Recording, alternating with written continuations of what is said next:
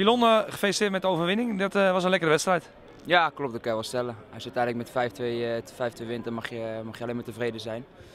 Uh, over de uitslag. Ik denk over het spel dat het nog wel, dat nog wel een hoop beter kan en ook moet. Maar, waar, waar zie je dat dan in? Na momenten dat we, als we 2-0 voorkomen, na, na 25 minuten, meen ik, dan, dan zakken we helemaal in. Dan zakken we weg ook. Kijk, het feit dat je inzakt betekent niet dat je moet gaan verslappen. Het plan was om inderdaad compacter te gaan spelen, zodat die ruimtes uh, ja, zouden komen.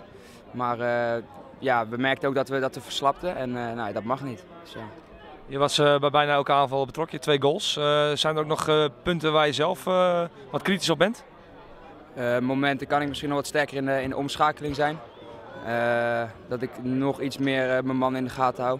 Maar ja, dat, dat, dat is ook altijd weer, weer, weer lastig, want ja, dan kan je weer aanvallend weer iets minder brengen. Dus nou ja, dat, dat, dat, zijn punten waar je, waar, waar, je over na moet denken. En uh, dan kan je nog een keer rustig, uh, rustig op terugkomen op de, op de training. Dus.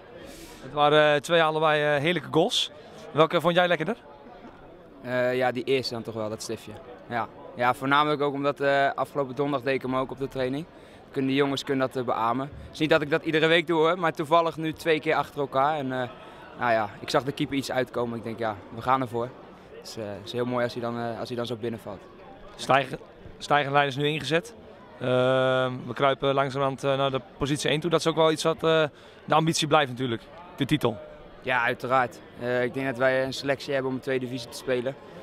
Allemaal stuk voor stuk jongens die dat ambiëren. Dus ja, voor de club is dat natuurlijk noodzakelijk. Voor mij, voordat we waren gedegradeerd, waren we nog nooit op, op een lager niveau, hebben we nog nooit op een lager niveau geacteerd dan, dan, dan het hoogste amateurniveau. Dus dan hoor, hoor, je daar gewoon thuis. Dus we moeten ervoor zorgen dat we linksom of rechtsom dat we zo snel mogelijk uh, weer terugkomen op het, op het hoogste niveau. Dus, ja. Bedankt en uh, goed weekend. Yes, graag gedaan.